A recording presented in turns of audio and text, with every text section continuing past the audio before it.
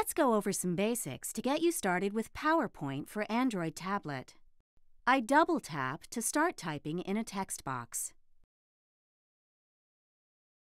And then double tap again to type inside the next box.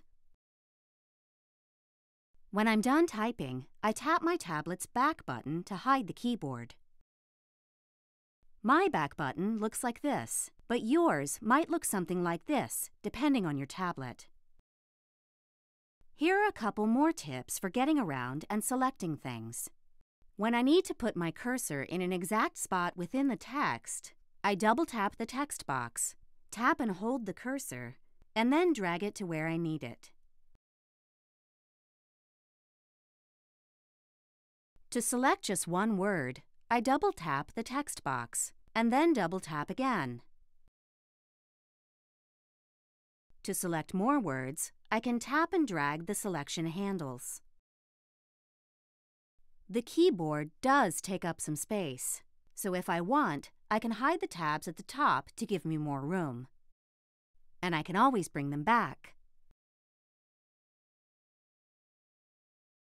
The Edit menu is where the Cut, Copy, and Paste buttons are.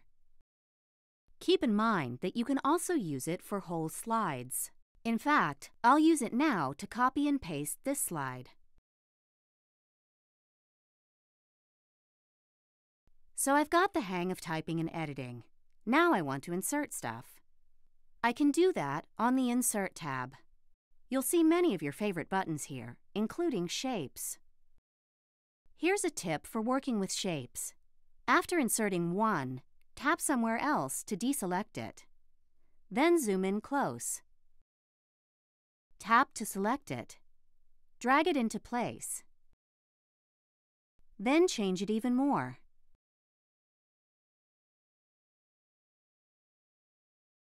When I'm done, I zoom out and then tap away to deselect the shape and see my work.